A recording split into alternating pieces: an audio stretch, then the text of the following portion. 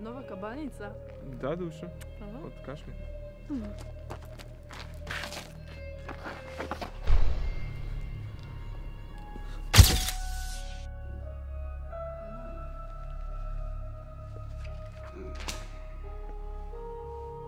Čuo sam da je te iz novina napao Akakija Gakijević. Ček, ti si ga poznavao, zar ne? Ama da. Da, evo.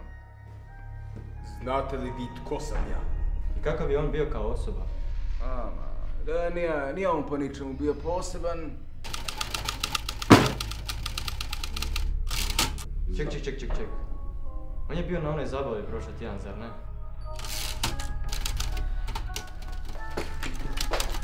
E, da, da.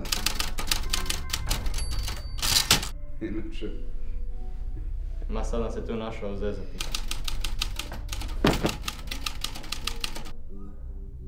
Da, ma gle. O, on je bio svoj tip osobe i ovo, gle, ovo kad sam. Podasku šta ga ide.